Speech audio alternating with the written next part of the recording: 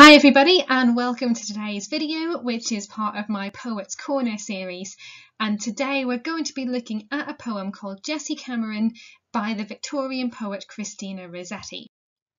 And as we're looking at this poem we're going to be applying a little bit of literary theory because theory helps us to unlock new ideas in a text and we're going to be looking at feminism today. I'm not going to talk too much about this because I have in plenty of other videos. Um, so if you're not sure what feminism is, search for my video about feminism, watch that first, and then come back here. So Christina Rossetti, as I've said, was writing during the Victorian period. And before we read and understand the poem, we really need to know what the historical context of that was. And we talk about the Victorian period as being a patriarchal society, so a society in which men were dominant and women were submissive and subservient. And we often use the phrase separate spheres to talk about that. And the idea here is that the women occupied this the domestic sphere, so they were responsible for the housekeeping and for the bringing up of children. They didn't really have any um, intellectual responsibilities. Certainly, they didn't have a great level of education. And if you were an upper class woman, this meant that you might direct your servants to complete uh, domestic tasks for you, you know, what to cook for dinner, what to clean, etc., what to do with the children. If you were a middle class woman, you might do some of those tasks yourself, but you might also have a little bit of help from servants. And if you were a working class woman, then the likelihood is you'd be going out to a factory or to work on the farm as well as completing these domestic tasks. And while the women are doing that, the men in their separate sphere are completing tasks that have to do with business, with finance, with the law. Um, and the Victorians were very worried that those kind of activities could tarnish somebody's morality. So it was essential for the woman to remain morally perfect and at home she would be protected from these kind of evil outside influences. When the man returned home from his day at work, when he possibly had this tarnished morality from his kind of day wrangling over business, um, she would restore his kind of sense of self and restore that idea of um, family harmony and so on. So it's essential that the woman remained what was called the angel in the house, that she was um, innocent, perfect, um, completely shielded from what was going on in the real world.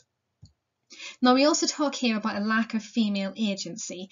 So, agency meaning the ability to make independent decisions, choices for yourself. As well as that, we have the phrase political disenfranchisement. So this means um, primarily that you don't have the vote or you don't have a voice in the political world. And if you think about everything that the suffragettes did to get the vote for women in Britain, you know, this was all about women not being able to do basic things. So, for example, divorce a husband um, who was abusive to them. You know, and in order to get that through law, women had to get themselves a voice um, by gaining the vote. So that all kind of links together.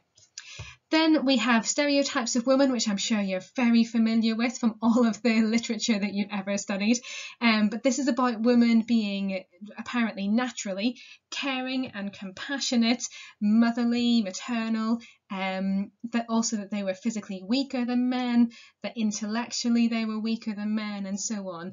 And all of these stereotypes, which we'll talk about in a minute, were justified using biblical texts. Um, in the Bible, there's the story of creation um, in the book of Genesis in the Garden of Eden, and the idea is that Adam, man, was created first and he was stronger, and he asked God for a companion. And so God took one of Adam's ribs and used that as the foundation for women. And women were therefore kind of weaker, you know, they were seen to be a kind of lesser kind of man.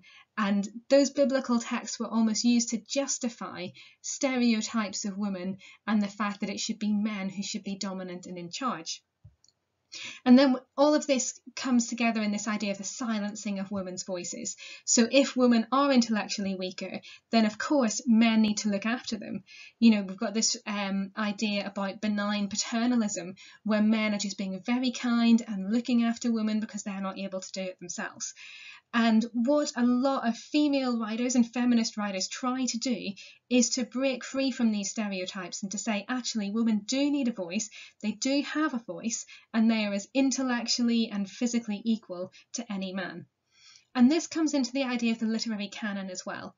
And I've done a separate video on the literary canon, which you can check out if you want to, but I'll summarise it here. So the canon is a list or an idea of the texts that we should study at school and at university and in society in general. So if I ask someone to name a British writer, they would probably say William Shakespeare. They might say Charles Dickens. Other people that come to mind that we study in school a lot J.B. Priestley, uh, William Wordsworth, William Blake, John Keats, um, Seamus Heaney. But the important thing about all of these names that I've just mentioned is that they're all dead white men. And that's really limiting in terms of the literary canon, because then all we are reading about is men's experiences. And what female writers wanted to do was articulate the female experience of the world and to challenge the preconceptions and the stereotypes of women that are out there. And that's one of the things that Christina Rossetti was trying to do in her poetry. So before we move into look at the poem, I just want to show you this critical comment. It's really important that if you're doing A-level literature, you're doing your own research and you're reading things up online, ask your teacher for guidance about this, about the particular text that you're doing. But this quotation is taken from a critic called Simon Avery. I've got this from the British Library website, which is a fabulous resource.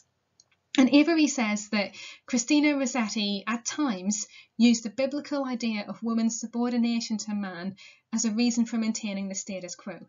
Rossetti was deeply religious, and this idea that sometimes the Bible is used to back up that women are subordinate to men is quite clear in her poetry.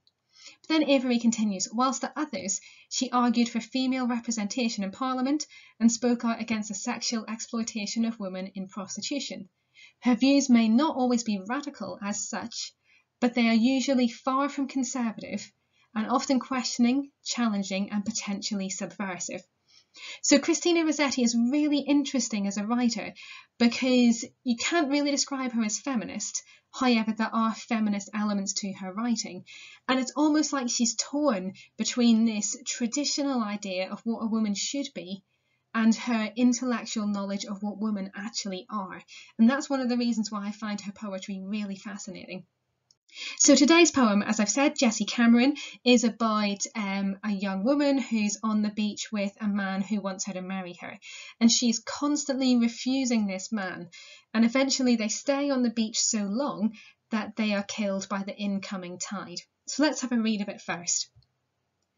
Jessie, Jessie Cameron, hear me but this once, quoth he. Good luck go with you, neighbour's son, but I'm no mate for you, quoth she. Day was verging toward the night.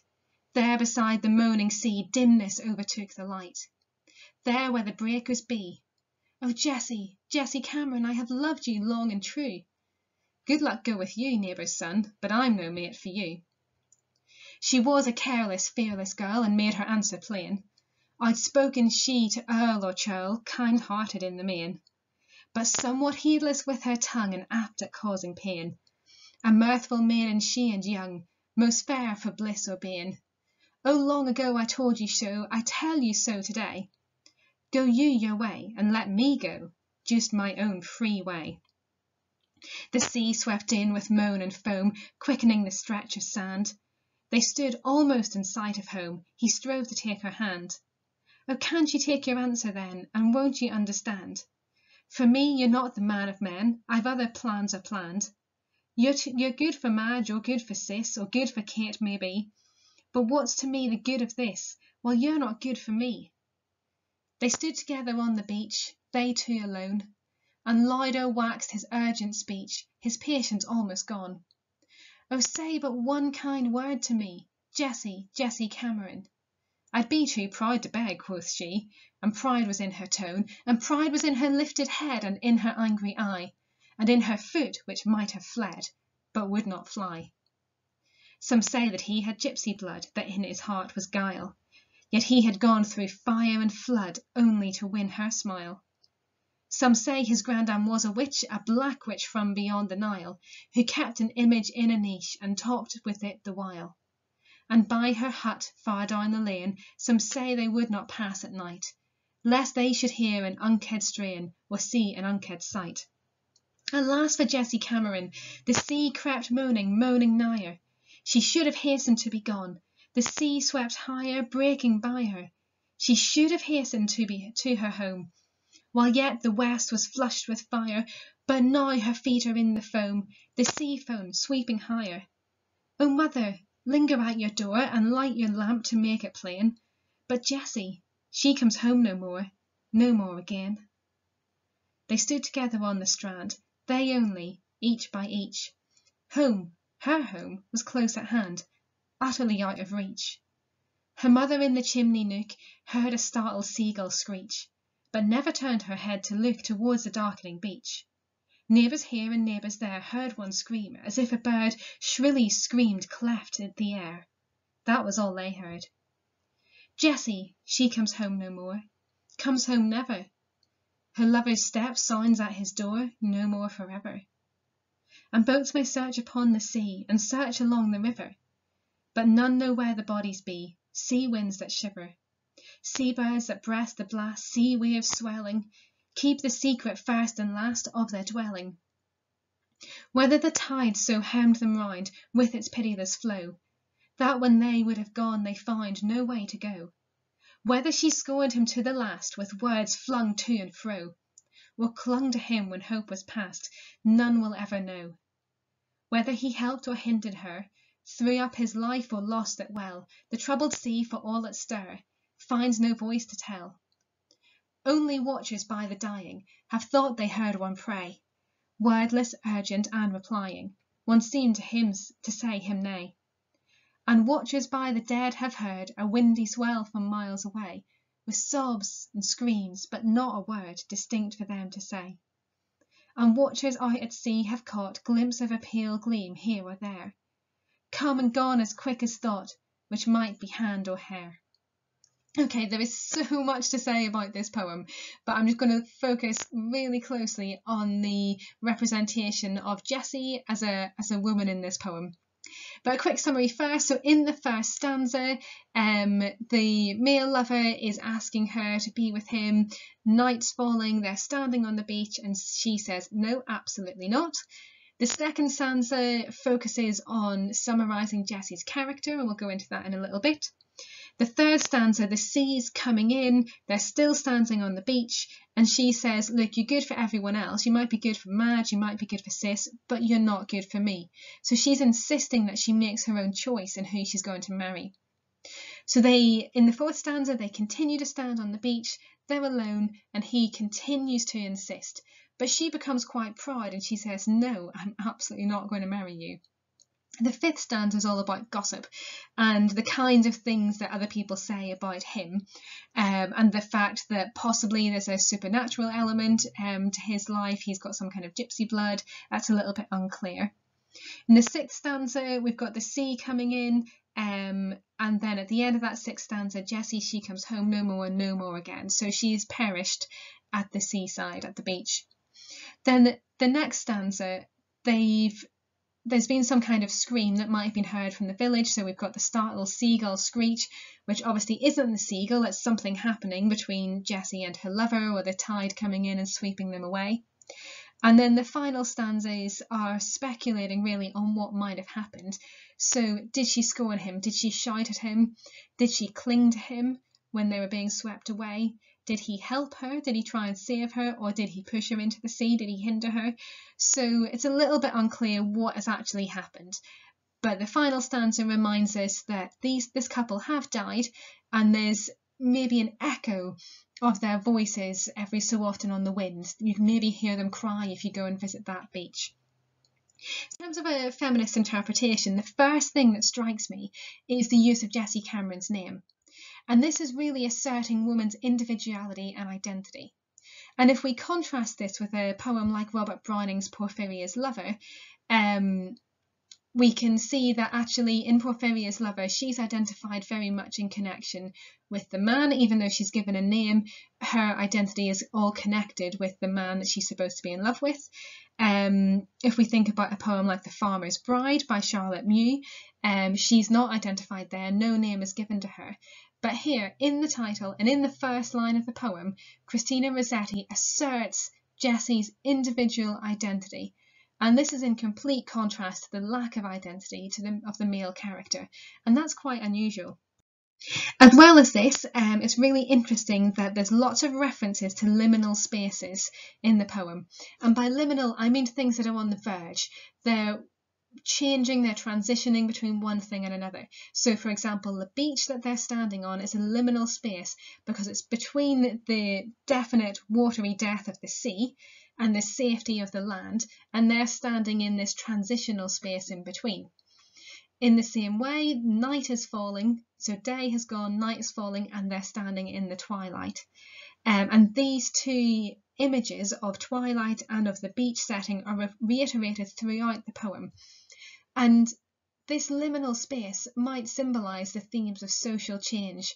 So we have a society which is transitioning from complete patriarchy, where men are dominant, to the possibility that women might be able to make their own decisions in things. So this liminal setting could possibly symbolise the, the moment of history that we're in here. As well as that, we could analyse the representation of Jessie, particularly in the second stanza. Now, if we look at this first line of the second stanza here, she was a careless, fearless girl and made her answer plain. There's something quite admiring in the narrator's tone here. Um, it says she's outspoken to Earl or Churl. So an Earl, obviously someone of upper class, a Churl, someone who's a bit annoying, someone who's getting in the way, probably of lower class. And so the idea here is that Jessie's integrity is the same no matter who she's talking to, no matter how much money they have. Um, this, the fourth line of the stanza says that she's kind-hearted and so on. So there's quite an admiring tone in that first section. But then after that, we've got a note of caution here because it says that she's heedless. So someone who's heedless doesn't think through what they're doing. So she speaks too quickly. She doesn't think before she says things. And sometimes this causes pain. Sometimes she hurts people with what she says. Then it says that she's mirthful and she's young. So maybe she's lacking a little bit of sense, a little bit of knowledge about the world, and so on.